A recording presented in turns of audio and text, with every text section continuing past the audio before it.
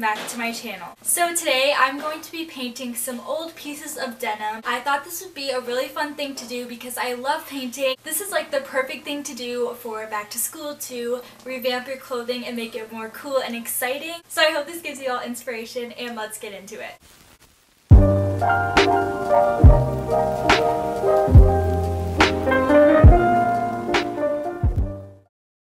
Okay, so the first thing I'm going to be painting is this denim skirt. It's really, really cute. It just doesn't fit me anymore. It's a little too small. So I have it on my phone, but I'll probably put the picture on the screen for you guys. And this is what I'm going to be painting. It is a monarch butterfly. I thought it would be super, super cute. So what I've done already is taped off the edges um, so that way you don't get paint everywhere. And yeah, I'm super excited to paint this, so I'm going to go ahead and get started.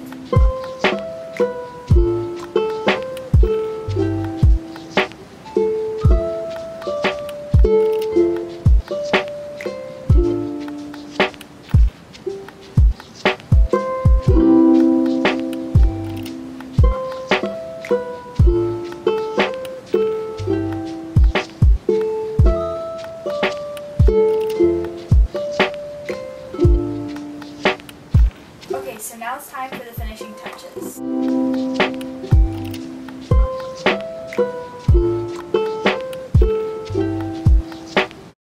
so it is time for the next one. As you can see, I already painted it white and I have it taped. But this is the picture that I am going to be using um, as my reference to paint on the pocket. First thing I need to do is take this tape off and move it though because I want to keep like a white border around the whole thing.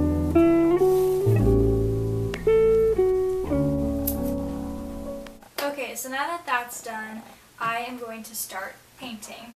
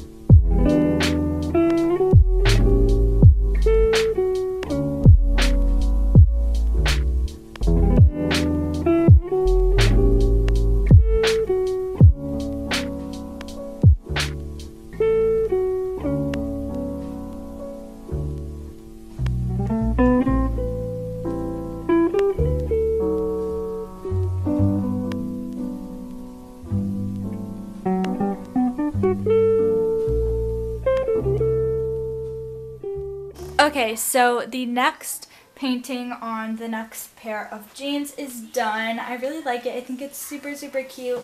It's time to paint the last pair of shorts. On this one, I'm going to do like a really cute oceany pattern. You've probably seen this before. A lot of people use it for like VSCO edits. So that is what I'm going to be painting on this one. I'm going to go ahead and pull up the picture and start painting.